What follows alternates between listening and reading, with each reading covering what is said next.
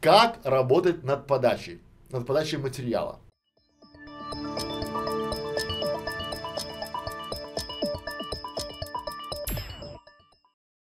Самое важное, это вы должны давать контент, который вы знаете. Потому что тогда будет подача идти честная, правильная и не пытаться высосать из пальца.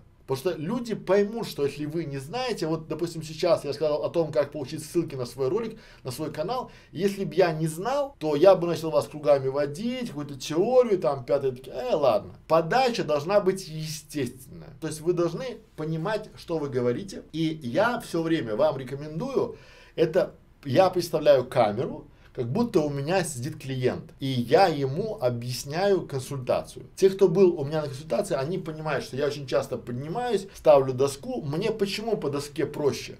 Потому что я именно по доске а, объясняю, раньше я выступал, раньше я ездил, теперь нет. Да, я теперь делаю свой проект, свою команду, да, ну, часто я еще консультирую онлайн, и по доске проще, то есть мне, я нашел для себя формат подачи, и поэтому работа над подачей с доской мне привычнее, да, я могу рисовать, потому что я могу здесь на формате там рисовать, объяснять там, да, что-то такое. И сама по себе подача для меня простая. А раньше я сидел, был сидячий стрим, и это для меня было дискомфортно потому что я хотел, чтобы вы на этом стриме, допустим, видели доску, либо там видели там экран рабочий, там что-то в этом формате. Но мне, для меня комфортный формат подачи это вот такой. Для меня комфортный формат подачи это ответы на вопросы. Но при этом вы должны понимать, что вот почему у нас сейчас, допустим, там было 20 человек там на стриме, потом 50, потом 100, потому что вы должны тренироваться. Если а, вы не натренированы, и я в том числе тоже не натр... я небольшой, то есть у меня уже сейчас сотня стримов точно есть, и я считаю себя, ну, более-менее натренированным, да, но опять же не экспертом. Чтобы стать экспертом, надо провести большее количество стримов и уже с большим количеством людей.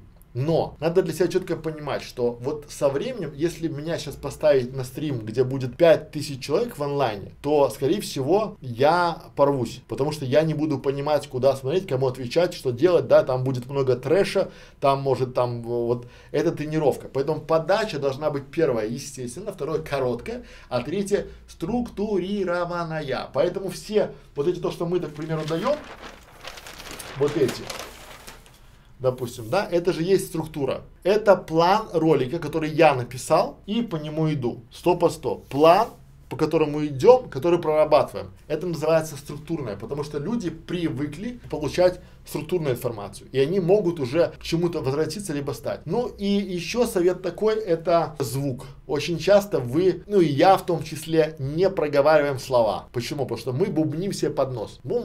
И мы что себя слышим или глотаем слова, да? Мне тоже поначалу тяжело, это вся история.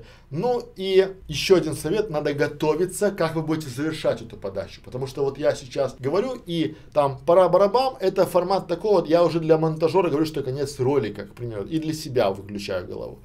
Вот, поэтому вся эта история, э, работайте, будьте собой и давайте полезный контент, в, ну, не размазывайте его, и будет хорошо.